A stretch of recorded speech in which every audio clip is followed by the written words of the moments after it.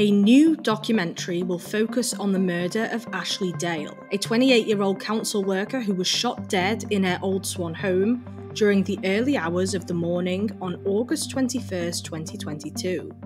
Ashley died after being shot in the abdomen with a Skorpion submachine gun in her home in Leinster Road as part of a plot to target her boyfriend Lee Harrison, who had made dangerous enemies even among former friends. Four men were jailed for a total of 173 years for Ashley's murder.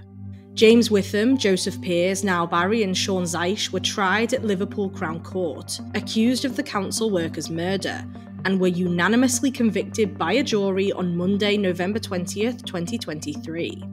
During the eight week trial, a jury was told Ashley and Lee made an agreement with each other days before she was killed. The court heard how Ashley had been having terrible anxiety over a growing feud between her boyfriend and Barry. In a voice note Ashley sent to Olivia McDowell, the ex-girlfriend of Zeisz, Ashley said, quote, had terrible anxiety yesterday. Absolutely terrible anxiety. I just can't even be speaking about anything. Don't speak about all the madness, just try and bring positive energy and vibes to the house. Me and Lee have said we're not speaking about any madness just trying to be as positive as we can, you know what I mean? Jurors were later told Lee drove past the police cordon outside their home after Ashley was killed while on a night out with friends, and that he was later, quote, totally uncooperative with police. Police staff investigator Dave Rawsthorne of the force's major crime unit said, quote, he just doesn't want to engage with the police, he doesn't want to help the police. He said he had no beef with these people and that he can't believe it's about an argument from years ago. Ashley's mum Julie Dale is said to have asked, quote, where's her boyfriend? when police officers knocked at her door at 3am to tell her her daughter had been killed.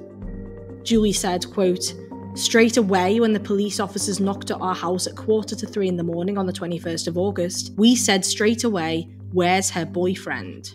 It's got to be something to do with him. It's not just a random attack. Someone doesn't just break into someone's home and kill them. It's got to be to do with him. Following Ashley's murder, after 10 days of no contact from Lee, Julie took the decision to visit him and ask for the truth. She said, quote, I made the decision that I had to see him. I had to go and see him and see what he had to say. And he sat there and denied he had any involvement. He couldn't think of any reason what it was to do with. Well, he gave us three scenarios one being a burglary gone wrong, some other ridiculous scenario that they came for somebody else who used to live in the property. None of the reasons were anything to do with him.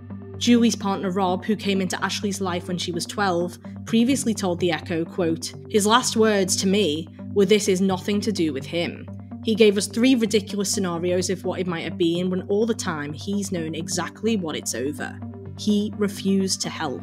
He might as well be in the dock with the six of them because he's no different from them. The most horrific thing in the world ever you could do to another person, and to not just hold your hands up and say, you know what, enough is enough, I will tell the truth. And they carried on and carried on the selfish nature of all of them. And Lee's the same. Wednesday, August 21st, marks two years since Ashley was murdered. Channel 4 documentary Merseyside Detectives The Murders of Ashley and Olivia will explore her killing, as well as the fatal shooting of nine year old Olivia Pratt Bell.